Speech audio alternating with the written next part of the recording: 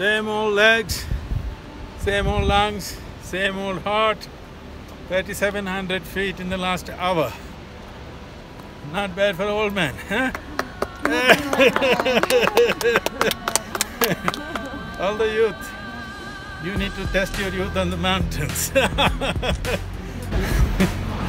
mountains will speak the truth about your youth, youth and truth.